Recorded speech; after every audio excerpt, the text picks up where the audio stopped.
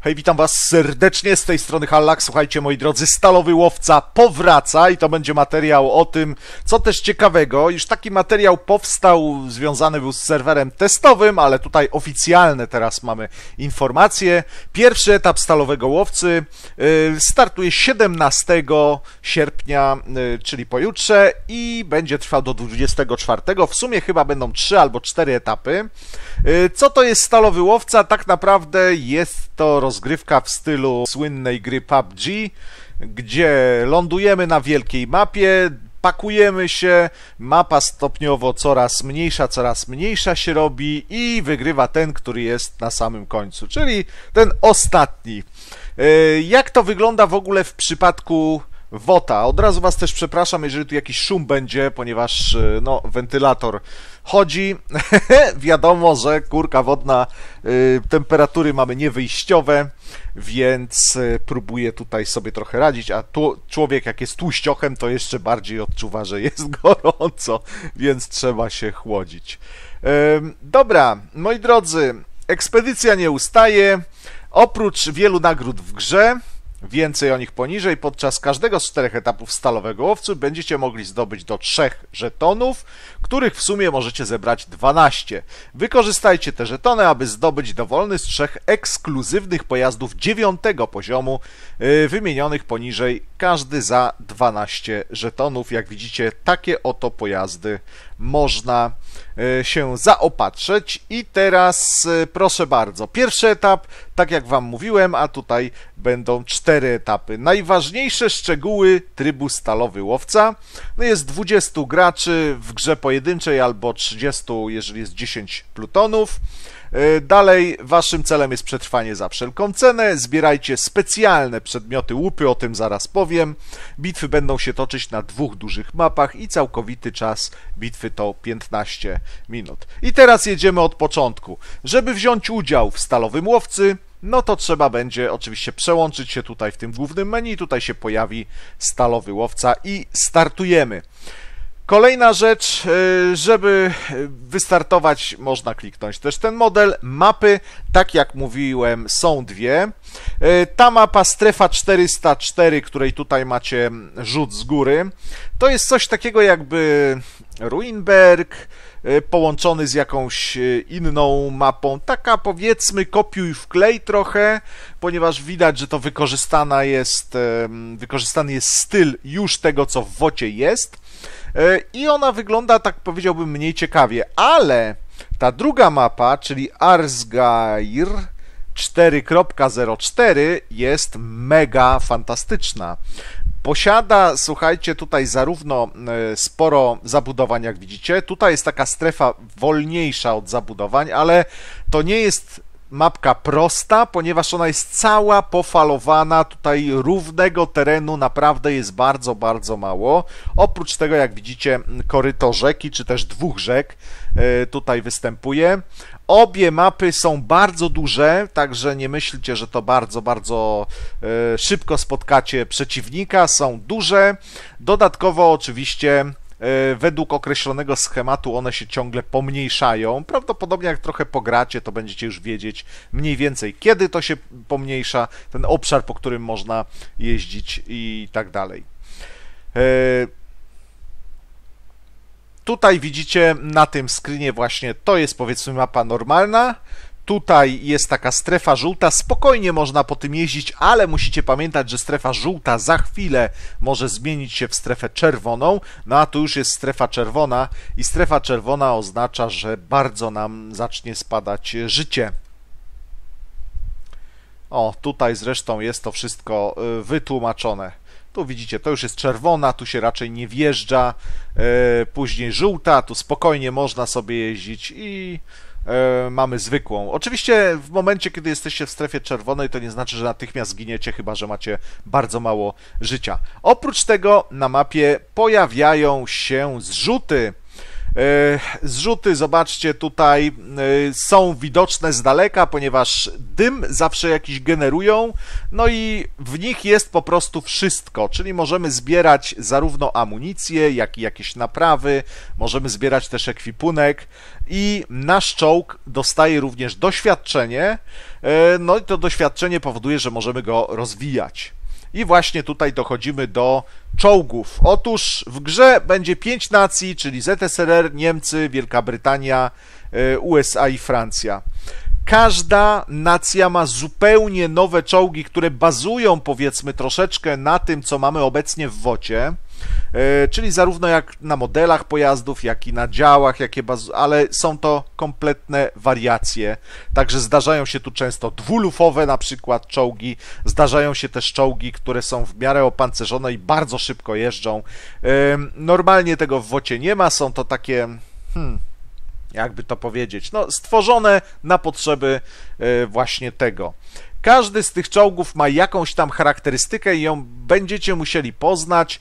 Ogólnie ZSRR i Niemcy mają czołgi opancerzone, takie może trochę wolniejsze.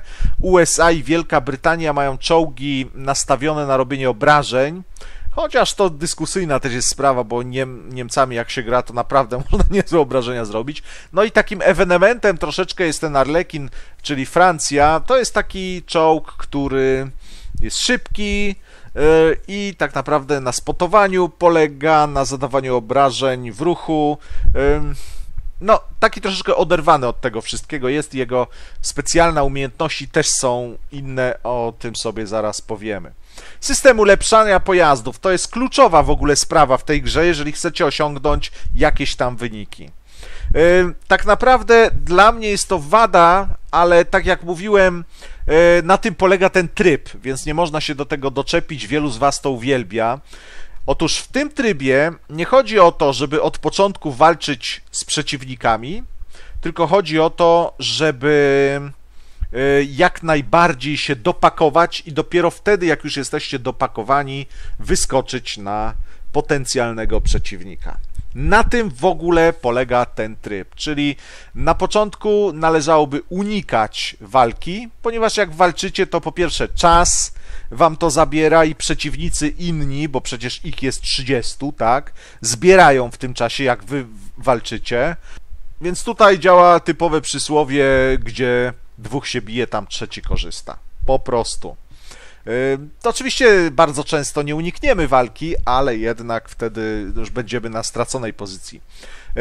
Dobra, także widzicie, żeby mieć jak najlepszy czołg, trzeba go ulepszać. Co poziom mamy dwie opcje do wyboru. Wyjątkiem jest ostatni poziom, gdzie mamy trzy opcje do wyboru. I tutaj mamy drzewka technologiczne i tak naprawdę, jeżeli chcecie grać którąś nacją, to powinniście wejść na stronę i dokładnie dowiedzieć się, jak wygląda drzewko rozwoju waszego pojazdu, ponieważ dla każdego y, troszeczkę te wszystkie rzeczy są poprzestawiane, jak widzicie, to nie jest to samo. Te umiejętności są podobne, powiedzmy, ale one są po prostu poprzestawiane. Jedni mogą trochę życie zwiększyć, inni pancerz mogą bardziej zwiększyć. No tak to jest e, zbudowane. Czyli jeżeli chcecie grać konkretną linią, powinniście od razu wiedzieć, co wybierać w kolejnych etapach, a nie czytać dopiero i zastanawiać się podczas rozgrywki. Ja na przykład tak robiłem na, e, na serwerze testowym i po prostu przez ten czas, no ktoś tam zbierał różne rzeczy, a ja przez ten czas się zastanawiałem, kurczę, może to wybrać, a może to wybrać. Musicie mieć z góry już to zdefiniowane i po prostu wiedzieć na kolejnych etapach, a tych etapów jest troszeczkę, co chcecie brać. Oczywiście y, nie ma jakiejś jedynej słusznej drogi, ponieważ sami możecie wypracować swój styl ale prawdopodobnie, jeżeli chodzi o skuteczność, no to zawsze będziecie wiedzieli, czy pancerz, czy siła ognia. Tak jak tutaj e, na pewno jest do życia, a tutaj do pancerza. Czy chcecie mieć więcej życia, czy chcecie mieć więcej, lepszy pancerz? to jest, wiecie, bardzo, bardzo ciekawe. Można tutaj sobie sprawdzić, tak jak widzicie jest ZSRR i tu są wartości y, tego pojazdu ZSRR podstawowego, po prostu stokowego. I teraz klikając odpowiednie opcje, zobaczcie, zwiększa nam się określony parametr. U góry macie takie białe ikonki i to mniej więcej obrazuje, co wy ulepszacie, czyli na drugim poziomie w radzieckim czołgu ulepszacie sobie silnik, tak? I teraz macie do wyboru albo to, czyli ulepszacie i prędkość do 55 i silnik do 1200 koni, czy też może zależy Wam na tym, czyli tylko moc silnika, ale zostajecie z prędkością 45 na godzinę. No, wasz wybór. Jak widzicie, bo jak to wyzeruję, te zmiany, które wprowadzają upgrade'y są kolosalne. To nie jest taka zmiana, że dostajecie 20% czy 15% do szybkości, do mocy silnika. Tylko zobaczcie, jest moc silnika 600, a jak to wybierzecie, to macie 1600. Czyli to jest po prostu kolosalna zmiana, tak? Y, to jest wszystko bardzo ważne. Później radio, o tym do czego tu radio służy, a jest bardzo ważne również, to za chwileczkę powiem. Później, jak widzicie, jest działo, później kadłub, później wieża i na końcu znów działo i tutaj macie aż trzy opcje do yy, wyboru, tak? To znaczy, jeżeli wybraliście to, to możecie wybrać te opcje. A, czyli nie, nie ma trzech opcji, tylko albo Mhm, to czekajcie, spróbujemy sobie to wybrać obojętnie. Tak, czyli nie ma trzech opcji do wyboru. Znaczy, niby są, ale są uzależnione od tego, co wybierzecie na przedostatnim etapie. Czyli wybierzecie to, to będziecie mogli z tych dwóch wybrać. Wybierzecie to, to z tych dwóch.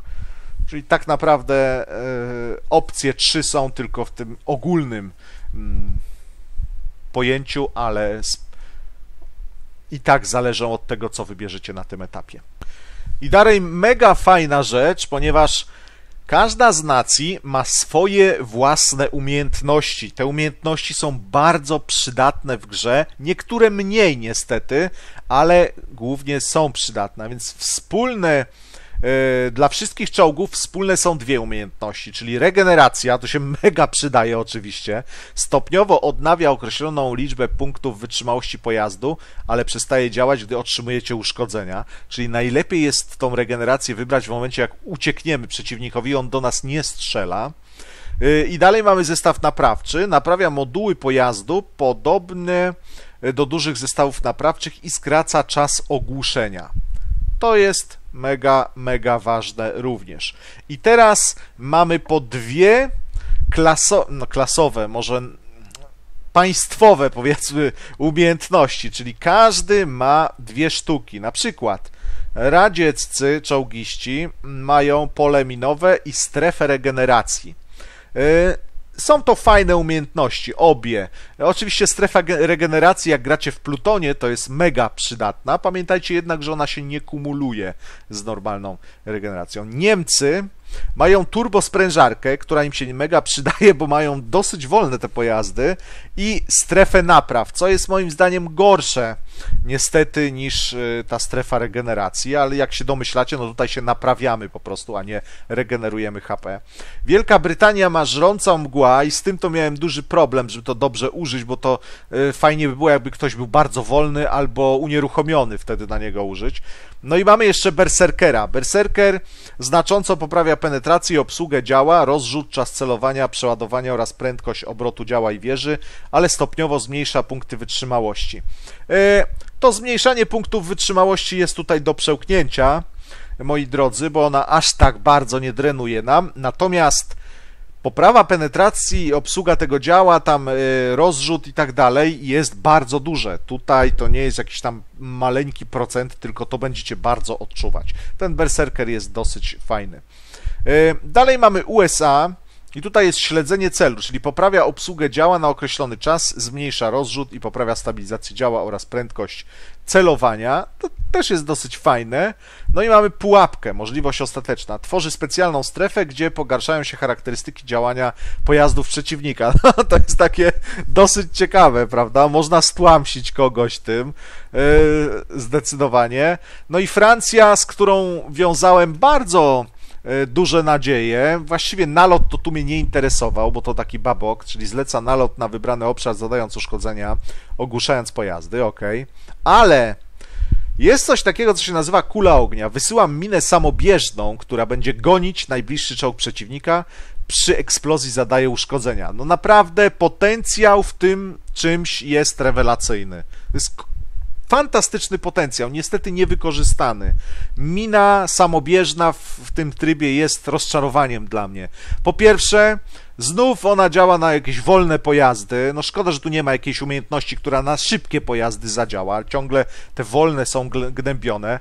Jak się już pewnie domyślacie, ta mina jest po prostu zbyt wolna, żeby szybkie pojazdy dogonić, a jeżeli ten pojazd manewruje na przykład yy, po prostu skręca, to mina nie nadąża za nim skręcać, bo to jest na takiej zasadzie, że ona musi się tak jakby nastawić i później azymut złapać i dopiero rusza. Więc jeżeli ktoś jeździ yy, dookoła niej, na przykład, to ona w ogóle nie jest w stanie nic zrobić. Ta, ta mina, no. Także lipa. Co do samych obrażeń, też są moim zdaniem za małe. Liczyłem na to, że jeżeli to jest kula, no bo tak się nazywa kula ognia, to to będzie mogło się poruszać y, tak jakby w każdym kierunku. Tymczasem nie. To po prostu się na taką gąsienicę, jak tutaj widzicie, jedzie tak jakby na tej gąsienicy. No, rozczarowanie kula ognia, można się tym pobawić. Jest to na pewno nowa mechanika, zresztą w tym trybie WG nam serwuje mnóstwo zupełnie nowych mechanik. Może to, nie wiem, pichcą tego, już zapomniałem jak się nazywa ta ich gra, którą robili. Może coś tam jeszcze robią, e, nie wiadomo. W każdym razie, no, najciekawsza sprawa, najciekawsza mechanika, jak dla mnie, z tych wszystkich umiejętności. Szkoda tylko, że taka, e, tak, tak, taka nie za fajna, no.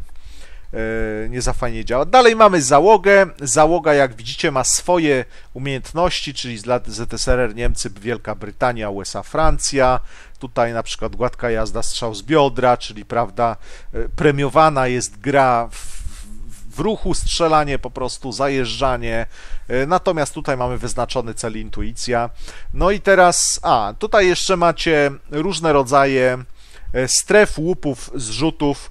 Y, żółte to amunicja, eksploatacyjne materiały y, zielone, czerwone to zostaje zazwyczaj, jeżeli kogoś zniszczymy, to wtedy po prostu się pojawia ta czerwona strefa i tak jakby zbieramy trofeum wojenne. No i najcenniejsze zrzuty to są na spadochronach to właściwie to zrzuty, to też nazwałem jako zrzuty. No prawdziwe zrzuty to są te niebieskie. I tutaj różne ciekawe rzeczy. Dużo punktów doświadczenia za to dostajemy. Jak widzicie, przywraca punkty wytrzymałości, naprawia uszkodzone moduły. No naprawdę to jest, to jest fajne i wydaje mi się, już nie pamiętam, czy w niebieskim, czy w zielonym są te miny bo o, też ważna rzecz, to nie jest tak, że zaczynacie z tą miną, tylko ją musicie znaleźć. To jest jeszcze do dupy zrobione, bo możecie w czasie całej bitwy tej miny nie znaleźć, nawet jednej, nie, nie móc tego odpalić, kurczę. No i tutaj jest e, coś, co, o czym trzeba powiedzieć, mechanika widoczności i celowania. Zupełnie nowa mechanika widoczności jest w tej grze, znaczy w tym trybie. Mianowicie, żeby zobaczyć przeciwnika z daleka, musicie patrzeć tak jakby lufą w jego stronę, czy też wieżą, no nie wiem, przyrządami obserwacyjnymi. Wyobraźcie sobie, że w czołgu nie macie przyrządów obserwacyjnych na boki, tylko macie je do przodu, więc żeby widzieć, musicie po prostu miąchać wieżą cały czas. Pamiętajcie o tym. Jeżeli przeciwnik nie będzie bliżej was niż 50 metrów, to może stać z boku na otwartym polu i wy go nie będziecie widzieć za bardzo. Musicie skierować w jego stronę e, wieżę, lufę i wtedy dopiero zobaczycie. Tak się dzieje też na dużych dystansach oczywiście. O tutaj widzicie jak to mniej więcej wygląda, tak? Czyli macie po pierwsze kółko w zasięgu, y, którego zawsze wykryjecie przeciwnika. Ono chyba ma promień 50 metrów. I macie tak zwany stożek widoczności. Normalnie w wocie też widzielibyście, co tutaj jest, prawda? Natomiast w tym trybie to jest, y, no martwa strefa i widzicie tylko to, co jest w tym stożku. Jeżeli chcecie zobaczyć ten czołg, to musicie po prostu wieżę odwrócić w tą stronę. Oczywiście chodzi mi o wyświetlenie pojazdu. Yy jakby to powiedzieć, obramowanego na czerwono i wtedy widzicie też ile jest jego hapsa. Mam nadzieję, że to jest e, zrozumiałe. E, po prostu wtedy podświetlają wam się w tym stożku na czerwono e, przeciwnicy. Oczywiście jest jeszcze tryb tak zwanego szóstego zmysłu. Jak to używacie, to tutaj jest fajnie pokazane, że nagle wykrywacie po prostu nawet mogą być za budynkami, za górkami i tak dalej, wykrywacie przeciwników, ale sami również jesteście wykryci. Tutaj mamy jeszcze postępy, tak, czyli 200 punktów, 200, 200, żeby zdobywać kolejne poziomy, tych poziomów jest 15. Tutaj widzicie, ile punktów się zdobywa za grę solo, za grę w Plutonie, w zależności od pozycji, oczywiście, którą zajmiemy. Najwięcej punktów się dostaje, jak jest się ostatnim na mapie. Yy, I nagrody ze stalowego łowca, one mogłyby być moim zdaniem lepsze, nie są za ciekawe, widocznie yy, Widocznie WG stwierdziło, że sam tryb w sobie jest tak ciekawy, że te nagrody takie mogą być. Więc za poziomy od 2 do 5 dostajecie 50 tysięcy srebra, śmieszna sprawa.